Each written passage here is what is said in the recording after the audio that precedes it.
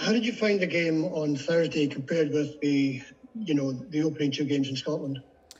I think the first game here was a bit a bit hectic. Sorry. Um, I think we knew what we were going into in the start of the game that it was going to be a very aggressive team. Um, any team competing at Champions League that it was going to be, um, you know, a tough game all along. So I think that we did well to manage the game, but just getting the nerves to settle in. A lot of new uh, players on the field that hadn't had the Champions League experience. So I think the nerves were high on both ends, which you saw in the play, just kind of a lot of back and forth. But um, yeah, I think it was good that we settled into the game, and hopefully now with this experience going into the next game, it'll be uh, a more dominant, calm start like it was against Aberdeen. We were asking about the, you know, the pitch and how it affects the players. What, what was it like for you personally? Yeah, it's tough. I think, uh, given the conditions, it's something again we knew we were going into. It's tough to get your cleats stuck, you know, and the ball bouncing, but you just have to be ready for those variables that are out of your control and be even more clean and even more crisp with your passes.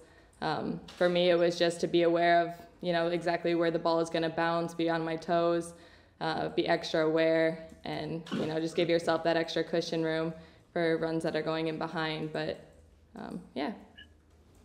And presumably you've seen some footage of PAOK by now.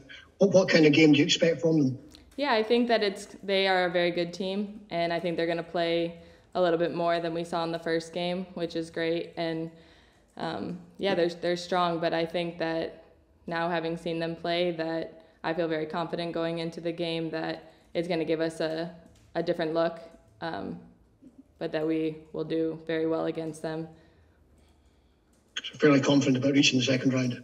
Yeah, I think, like I said, not having the experience in the first game, but those nerves settling down. And I think it one game does give you a lot of confidence. And I think we did well to handle the first game. And looking back on it, just managing these minutes and um, yeah, just relying on our older players who have the experience and building on that. And uh, I think the result was pretty solid. So I think there's a lot to take from that game and go into this game with a lot of confidence.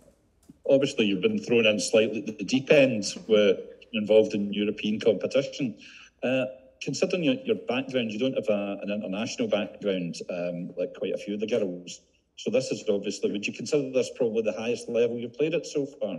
Yeah, I would definitely say that this was something that's been on my career bucket list to make it into the Champions League. And um, I think it's fantastic to see all of us have this opportunity and what we can do with it and the doors that it opens for players. And uh, just to learn from not only my teammates but the other teams and just get a taste of that level. Um, any team, no matter where they're coming from, who has made it into the Champions League deserves to be here for a reason. And so I'm excited to see how I compete at this level and where I stand and just uh, continue to grow.